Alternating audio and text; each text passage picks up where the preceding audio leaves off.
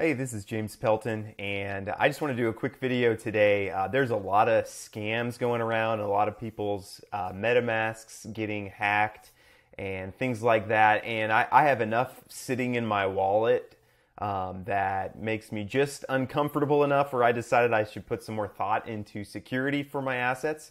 Um, even something like uh, Olympus um, you might think, oh, I have it staked on their website. I don't have to worry about it. It's with them. But in reality, actually, when you stake on Olympus, um, they give you a uh, sOHM token, which you, you have to import it even to see it.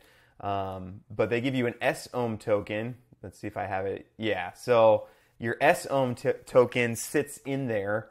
Um, so someone could come in if they, you know if they have your wallet address and if they hack into your MetaMask, um, and they totally could empty you out of your sOHM or whatever you have staked. If you have a time staked, you get a MEMO token that they can empty that out. And the main way that people do these types of hacks are uh, the main way is through spoofing. Um, so when you set up a wallet, you get a 20 a list of 24 words, right? And that's kind of like the secret code of your wallet. In fact, I think your wallet address is actually an encryption of those 24 words. So it's like you can encrypt them, but you can never decrypt them.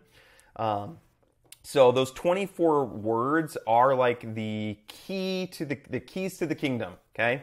So if you ever get anyone asking you for your 24 words, they're trying to scam you in some way, okay? You never give that. That's your words. Some some people recommend you memorize them. I cannot do that. Um, I have them. I'm not even going to tell you where I have them or how I remember them, but those are your 24 words. If you forget them, your wallet's gone, okay? So, um, it's very important those 24 words. So that's the main way that people get hacked or scammed, however you want to word it.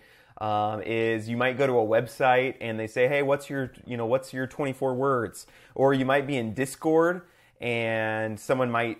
What happens a lot is people will DM you and say they might even say like, "Hey, this is James Pelton. Um, I want to send you a thousand dollars worth of Ethereum. What's your 24 words?" Okay, they never need to know that. Okay, um, it's okay to give people your your your address, which is basically the encrypted version of your 24 words. That's like your address. That's like your street address. So you still might not want to give it out. I kind of regret. I've put it on a few videos, and um, it's just it's basically your address. So people, uh, it's okay for them to know it. They can't do anything with that. But if they ask for your 24 words, um, don't give it. So the only exception is when you're first setting up your wallet. Like if you're setting up a MetaMask wallet, they're gonna uh, they're going to give you 24 words and then ask it ask for it and that's the only time you should give it so that's kind of the main way that i think people get get uh, scammed um, the second way is uh, connecting to a site that's not legitimate so when you go to a website and you're like connecting your wallet to it, it's okay to connect. And MetaMask is good nowadays. It didn't used to be this way, but they ask you about everything that you're going to do. So like request access, and then it'll say, hey, do you want to approve or decline? And it'll ask you what it's trying to do. So you want to read through those carefully. Don't just click approve. You know, we kind of get used on computers to just approve everything and, oh yeah, I read the terms and conditions, approve, approve, approve. Um, but especially if you're on a website that, you know, might be sketchy, um, you know, like, so BNB Matrix is like a high yield site that might be a little more on the sketchy side. But you want to be really careful when it asks you, you know, read if it says, we're going to go ahead and empty your wallet. Is that okay? And don't just click approve. Okay, that's probably the second biggest way that I see people get scammed. Um, a third way is people might get access to your computer. So your MetaMask uh, sits on your local computer. Um, it's a browser extension, which might seem insecure, but it's actually better because it's MetaMask is not connected to the internet uh, at all. So it's just local on your computer, so people can't hack into your MetaMask itself.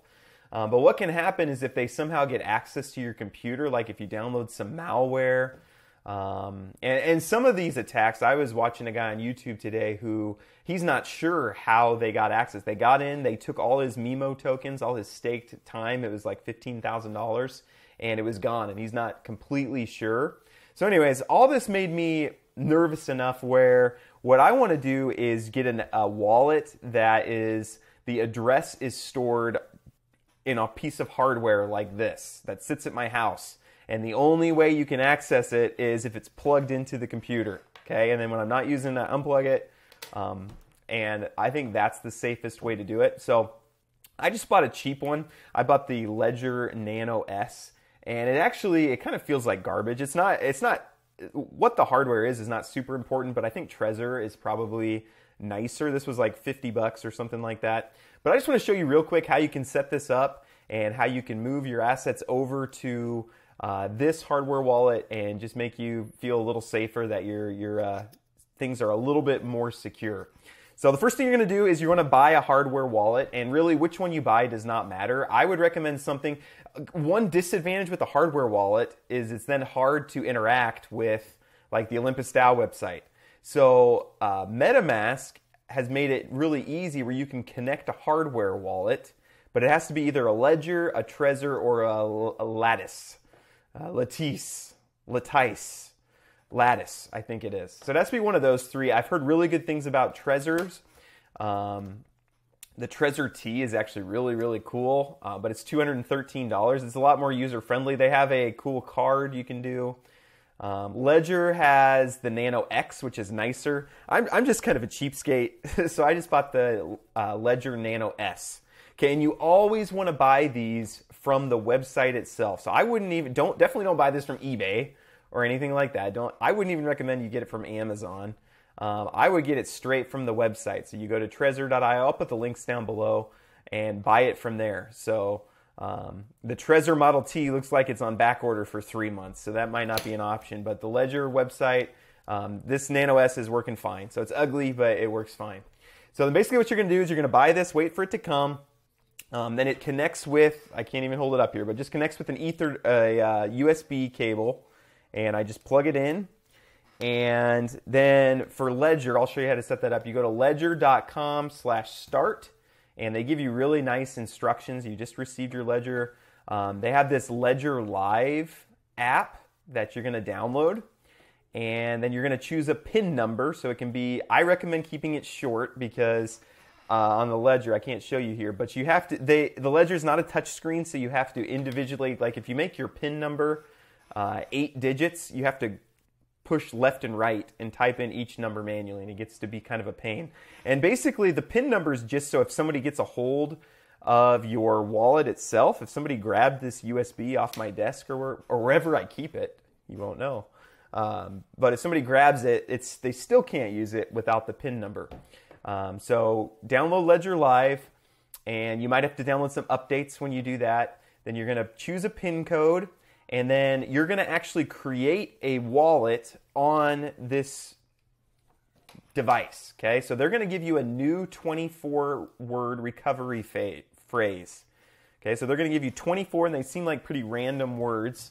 And uh, then what you can do is you want to write those down somewhere. And I don't recommend writing them on your computer because that would be a way for them to get hacked, right? If you put them like I have Evernote, and if I stuck these 24 words in my Evernote, if somebody gets access to my computer, they can get access to my Evernote, and then uh, it's they have my 24 words. So Ledger gives you this piece of paper and with 24 spots on it, and you can just write the 24 words there and then hide it somewhere. Or memorize the 24 words if you want to. But don't lose those 24 words, but also don't let anyone else have them. Store it in a secure place. And they say um, they'll let you know. Ledger will never ask you. So, like, nobody from support is going to ever ask you. No other human being should know those. Okay, then it says install applications on your device. And actually, there's a common misconception that you're actually storing like your Bitcoin and your Ethereum on the device. And that's not actually how it works. Everything's on the blockchain, okay? So you don't actually store anything on here. All this does is store your 24 secret words. Okay, that's all this does. So actually, to connect with MetaMask, which is what we want to do, we want to have the advantage of the hardware wallet, but we want it to be able to connect with MetaMask so we can still do all the things that we're trying to do. So you only need to install the Ethereum app, okay? That's the only thing that you need to do is install the Ethereum app. Um, then it's going to have you confirm your words. Um, you're going to add an account to your Ledger Nano, and you can just call it your Ledger Nano app, and then it's going to give you an address, okay? And then it's going to confirm on the device itself, it's going to say, hey, is this the right address that you see on your Ledger account? And you just say, you make sure it's the same, and you click yes. And then you can copy that address. So that's now your wallet address for this wallet. And then MetaMask makes it real easy. Once you're to that point, you can go. So, so here's all my non uh, ledger accounts, and I need to put. I'm probably going to empty everything out of these and put them all in my ledger account. But you just do connect hardware wallet. Okay, and you say I'm connecting a ledger. You plug in your ledger, connect. Um, and it says it wants to, and you have to make sure that you're, when you're first connecting, you have to make sure that your ledger is uh, not locked. So I have to type in my PIN here, which I'm not going to tell you what it is type in your PIN here, and then you have to open the Ethereum app on your application. That's just how MetaMask works, and then you connect. Okay, and then uh, it's already in here for me, but now you can see here hardware wallet ledger connected, and you can see what all is on that. So that that's the address, so that's the right one. But then all your assets are going to be here on your ledger wallet. So then if you want to move things over to it, you just go, so these again are my MetaMask wallets. I actually have a lot of them for different things. But you can go to, to these, and let's say I want to send, um, I don't have very much here. Let's say I would just want to send 1.1 BNB to my new uh, Ledger wallet. So here I have the address copied and just paste. And then I can just say send max and next. And you know, while you're kind of getting used to it, maybe just do a little bit just to make sure that you have it all set up right. But then you give it a couple minutes and pretty soon when you go to your ledger, it'll show up in here. Okay, so like I've already moved over my Avalanche, uh, I already moved over my Memo over to this, this wallet here, um, to my hardware wallet. And while you're plugged in and disconnected, you can do everything. But then if I unplug, so let's say I unplug. Um, at first, I was concerned because it still shows up here in MetaMask. Like even if I lock my MetaMask, um, which is basically logs you out, so you have to type a password to get back in. Even if I do that, I was a little concerned because my ledger is not plugged in now, but it still is there under assets. And I was like, okay, so I'm not protected. If somebody got on right now, they could empty my wallet. But if it's not plugged in, but it's connected to MetaMask, if you hit send, so let's just say I want to send, um, I'll just let's pretend that this uh, this MetaMask account is a bad guy, and I got on here and now okay, I'm going to send all his AVAX to this wallet. And I click next. While it's not plugged in, you get an error that says plug in your Ledger device and select the Ethereum app. So basically, with this Ledger app, with this Ledger device not plugged in, no one is able to send anything out of this wallet. Okay, all they can do is reject. So even if they get access to my MetaMask, if they somehow, so now we have a, we're a lot of layers deep. So they have to hack into my computer because it's on my computer, it's not on the internet. Then they have to hack into my MetaMask. And then now even they still can't do anything without actually plugging in the device. So what we've done is we've set up all these different barriers of entry for a hacker to have to get through. And hopefully by that point, they've just given up, right? Um, and they don't try to go any further. So I hope this is helpful. I recommend doing this. I'm going to move all my assets right now um, to this uh, Ledger device and just to keep them secure. And I recommend that you do the same. Get a hardware device and any significant assets, move over to that. And uh, let me know if you if you have any questions or need any help or get stuck. I'm happy to walk through it with you. Um, but good luck. Keep keep everything safe. And I just want to show you real quick how I go about just sending. So I'm going to send my S ohm right now. So um, the nice S is just staked ohm. So when you are on the Olympus website and you buy your ohm, if you've, if you've watched my video about Olympus, um, when you go to stake it, when you stake it, it doesn't actually deposit it or anything like that. It just turns your ohm into S and which is staked ohm. And S has built into it the uh, the rebase that their website has been jankety for the last while. Um, but your sOHM is what gets you that 0.3% or whatever every four hours. It's, it's built into sOHM. So, unfortunately, if you're sending anything on Avalanche, Binance, Polygon, anywhere else, Fantom, Moonriver, wherever, it's cheap. But unfortunately, on Ethereum, it's going to cost me some to send over my sOHM. Uh, that's really all I care about. If somebody wants to spend the $80 in gas fees to take my $75 of USDT, then they can go ahead and have it. Um, in fact, I don't think I have enough ETH here. Probably the gas fees are very low right now, but I'm going to try see if I have enough to send this 99 uh, S ohm to my uh, hardware wallet. So the address is here. I'm going to do max 99 S ohm. It does say I have enough in gas fees right now. The gas fees are super cheap right now, so I'm going to go ahead and confirm it. And uh, hopefully I have enough gas. It looks like gas is going to be about 19 bucks, so we'll see if this actually makes it through. I had 24 bucks of ETH sitting in there. Um, gas fees have been going down recently, which is really nice. Um, I, would, I could probably afford now to take my $75 of USDT out of there. So we'll give this just a minute. I'm going to pause it while we wait. All right, so it did come over, and don't panic if you go to your assets and oh, I don't, I sent over 100 sOHM. Where is it? Um, sometimes MetaMask doesn't have it. So one nice thing about uh, you have to sometimes import the token address in order to see it.